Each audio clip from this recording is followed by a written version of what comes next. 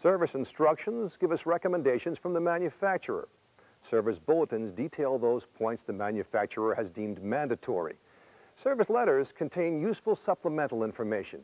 And airworthiness directives are mandatory compliance regulations from the Federal Aviation Administration. Follow these guidelines at all points during the initial installation process of your new or rebuilt engine.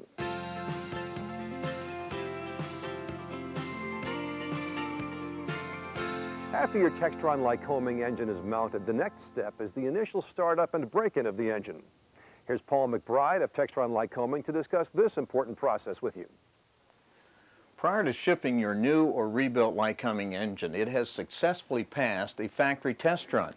Once you take delivery of your new engine, follow the initial startup procedure as detailed in the latest revision of the Textron Lycoming Service Instruction 1427.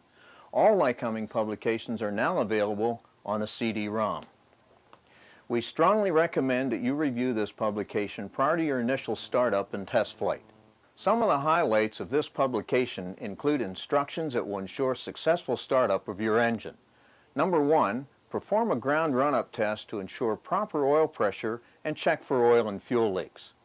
The purpose of a ground run test performed in the aircraft is to assure that the engine meets all of the specifications, RPMs, manifold pressure, fuel pressure, and fuel flow.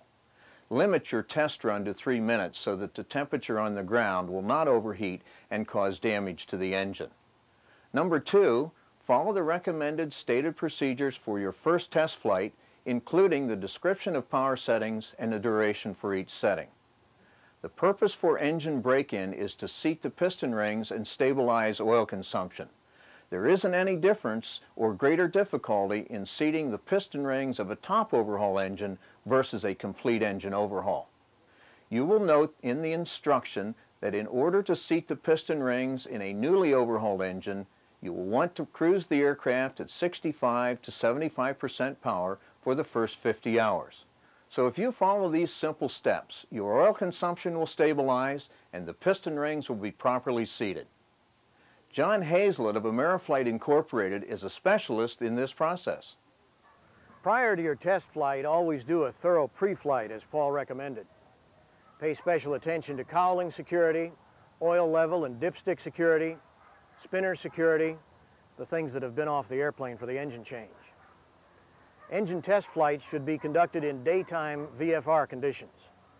New or freshly overhauled piston engines tend to run hot, so you should minimize your ground running time. Remember that carelessness at this stage can cause expensive damage. Coordinate with ATC so you can start up, taxi out, run up, and take off without lengthy ground holds. If necessary to hold, turn the aircraft into the wind and idle at 1300 RPM for maximum cooling. At this point, you can make a normal takeoff. We've moved to the Ameriflight simulator to better illustrate the following steps. Keep in mind that the speeds and power settings that we're using are for a Piper Chieftain, be sure you use what's appropriate for your airplane.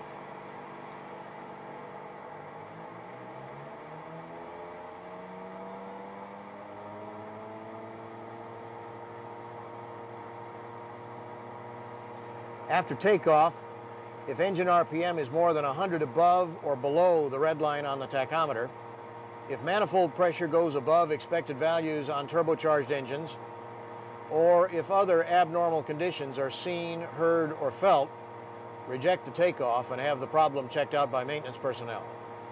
As soon as you're above obstacles, accelerate to en route climb speed plus 10 knots for improved engine cooling. Then reduce to climb power at 1,000 feet above ground level, but continue to carry the extra speed.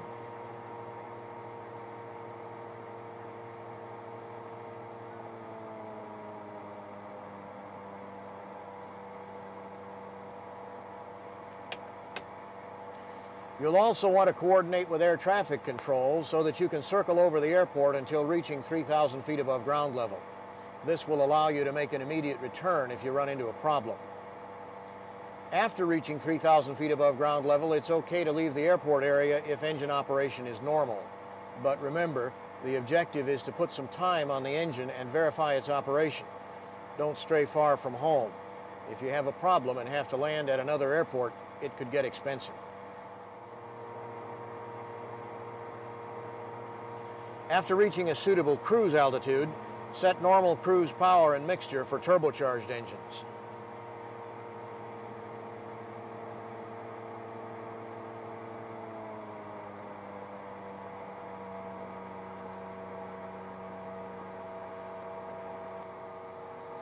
For non-turbocharged engines, the procedure is slightly different. In this case, we want to set 24 inches of manifold pressure, 2300 RPM, and one gallon per hour below climb fuel flow. Once every five minutes, cycle the new engine prop twice up to red line,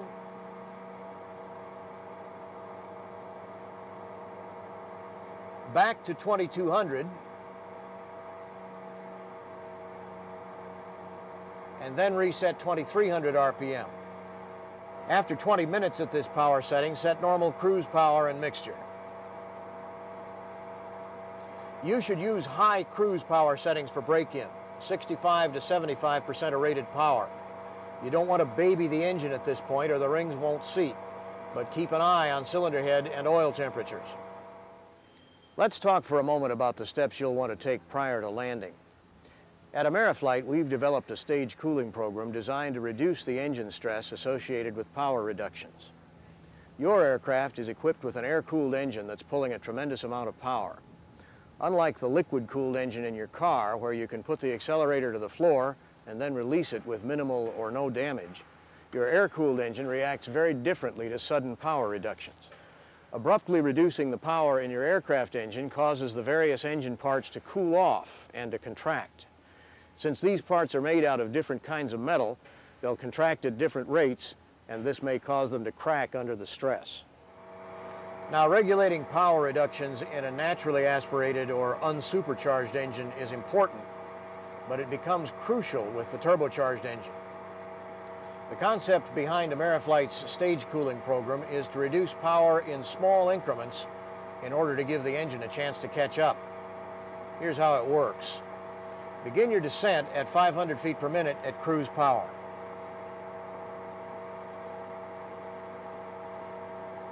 Every one to two minutes, reduce manifold pressure in small increments, two to four inches.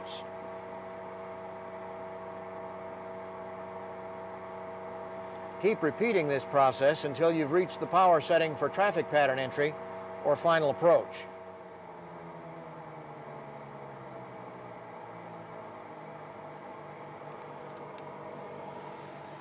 Remember, our main concern here is to avoid abrupt, large power reductions so in addition to a safe landing, you'll have a sound engine at the conclusion of your initial test flight.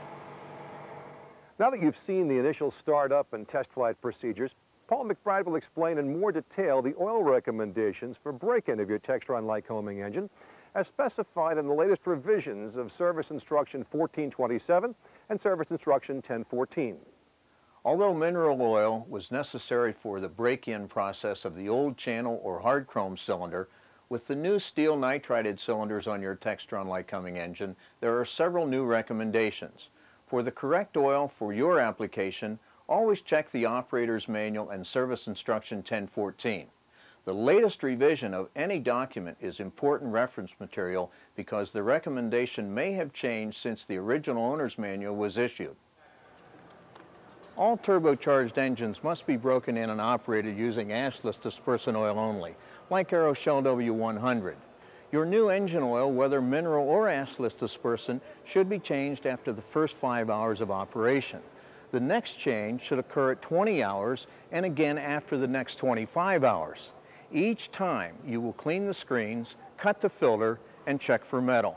We don't recommend performing oil analysis during the break-in process as we usually see varied amounts of chrome and other metals during break-in. Our criteria tells us if oil consumption has stabilized after these 50 hours and there is no appreciable metal being produced, then your new engine is considered broken in. Ben Visser has more to add about oil and your newer rebuilt engine. What is the proper oil consumption for my engine? This is a question I get asked frequently at air shows. In terms of ranges, there really is no right answer. If I say that 6 to 10 hours per quart is good for a particular engine, a customer may complain that he only gets five and a half hours per quart and conclude that his engine has a problem. This is not necessarily true because each engine seeks its own level of oil consumption depending on several factors. Consumption rate depends on the type of oil you use, how the engine is broken in, the type of cylinders it has, and the type of flying the aircraft endures. For example, if the oil consumption is primarily past the rings, your rate can go down if you switch from a single grade oil like Aeroshell W100 to a multi-grade oil such as Aeroshell 15W50. If the oil consumption is going past the intake guides or through leaks, your rate can go up if you switch from a single grade to a multi-grade oil. The absolute level of oil consumption is not the critical factor. A significant change in the rate of oil consumption is what you want to look for. If your engine is using a quart of oil every eight hours and suddenly begins to use a quart every four hours under the same type of service and conditions, you may want to consult your maintenance facility.